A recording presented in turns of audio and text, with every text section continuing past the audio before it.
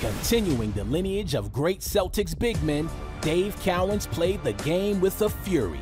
As a scorer, rebounder, and rabid defender, a league most valuable player, he helped lead Boston to two titles in 1974 and 76.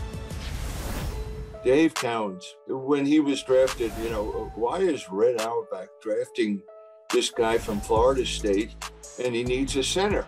Well, you found out real quick.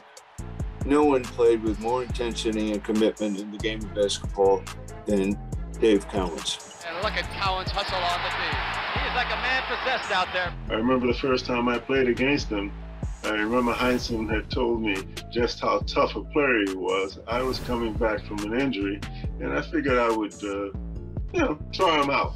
So I remember jumping on his back for an offensive rebound, and he and Cowens almost knocked me out. Okay, and we were in practice, and I got the message really clearly that uh, he was not going to put up with that from his teammates in practice, and he certainly didn't put up with it in the actual games. Blocked by Cowens. Tenacious basketball player, ran the court. Uh, that's where he had an asset over a lot of a lot of big players that he played against. He could outrun them, outjump them, you know. And and to me, Dave's, you know, I think, and I think Dave at one time got tired of basketball, and then he, he started driving a cab for about a year or so. but you got to know Dave. Great guy, man. I love the man. Dave Cowens was, uh, geez, I remember the 74 finals, the 76 finals, watching him on TV, begging my mom that I could stay up in 74 to watch the finals, which was tape delayed in Minnesota. And I had to stay up till like, you know, 12.30 to watch the game. And love Dave Cowens. Dave Cowens, you had to try to shade because you knew he was tougher than you. You know he was stronger than you. Um, I remember the first time playing against Cowens, shaking his hand at, the, at half court. He takes his jersey out and spits in his jersey and rubs it in his chest. I'm like, Mike, what? This guy doesn't care about himself. What does he care about me? Cowens who has been a reign of terror here so far. Standing at 6'9", Dave Cowens was first viewed as undersized at the five, but another sub seven foot center gave him that stamp of approval. Well, Bill Russell told the Celtics, hey, draft this guy to Florida State. He hustles. And if I told you there was a player in the NBA that grabbed 32 rebounds in one game, had a lifetime career average of, of 13 rebounds a game, you say, oh, that's pretty good, you know, pretty good for that time, particularly in the golden age of centers. And then when if I said, well, that player is only six foot nine, you're like, whoa, that's really good.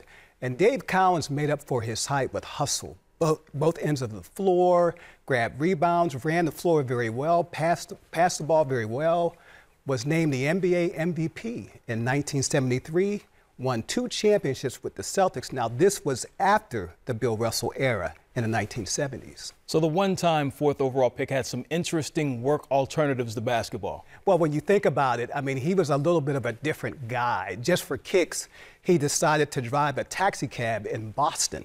Now, I mean, he paid the $35 fee. He had several runs that night, and nobody recognized him. Maybe it was because he wasn't tall enough. Mm. And then, months after winning the 1976 championship, he felt kind of burnt out, so he left the Celtics eight games into the following season. Can you imagine that? He went home to the family farm in Kentucky and sold Christmas trees.